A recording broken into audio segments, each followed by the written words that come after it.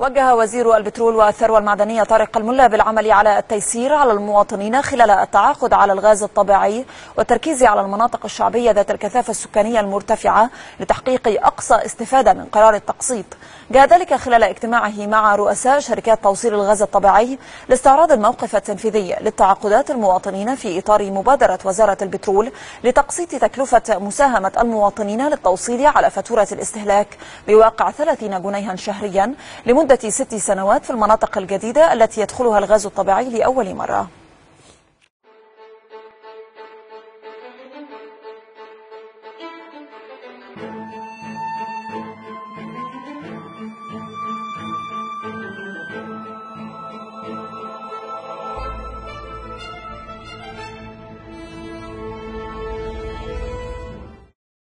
بنشكر الرئيس السيسي ووزير البترول انهم وفروا لنا الغاز في المنطقة بتاعتنا وأحسن من الانبوبه لأن الانبوبه غالية 65 جنيه.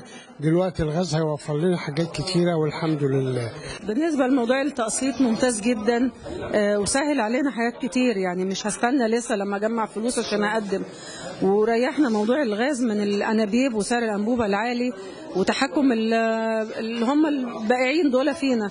والناس هنا متعاونين جدا معانا والحمد لله يعني. نشكر سيادة الرئيس ونشكر سيادة الوزير البترول على إنه وصل لنا الغاز الطبيعي وعمل لنا المبادرة بتاعت اللي هي القسط الشهري 30 جنيه على ست سنين تمام؟ وهو آه، يعني مشروع الغاز الطبيعي إنه يوصل للمنازل تمام؟ إنه ريحنا. وبعدين بصراحة الشركة آه، جت تتعاقد معانا في المنزل.